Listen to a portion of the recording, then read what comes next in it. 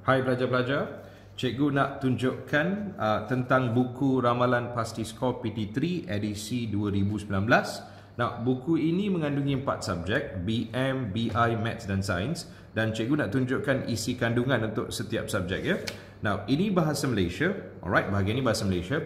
Bahasa Malaysia lengkap dengan ramalan untuk kertas 1 dan juga kertas 2 berserta dengan soalan, 4 set soalan kertas 1 dan 7 set soalan kertas 2. Nah, kemudian cikgu nak tunjukkan untuk subjek bahasa Inggeris pula. Untuk subjek bahasa Inggeris, ramalannya hanya untuk penulisan kertas 2, bahagian uh, part 1 dengan bahagian part 2 uh, berserta dengan soalan-soalan 4 set soalan kertas 1 dan 8 set soalan kertas 2. Ah, kemudian diikuti dengan subjek sains. Nah, untuk subjek sains seperti yang pelajar boleh lihat, uh, fokusnya kepada bahagian B dengan bahagian C. Ramalan diberikan untuk tingkatan 1, tingkatan 2 dan tingkatan 3.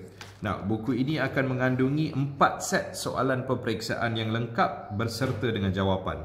Dan yang terakhir sekali, buku ini juga mengandungi subjek matematik. Seperti yang pelajar boleh lihat, subjek matematik mengandungi tiga set soalan peperiksaan dan semua jawapan-jawapan disediakan pada penghujung. Sekian, terima kasih.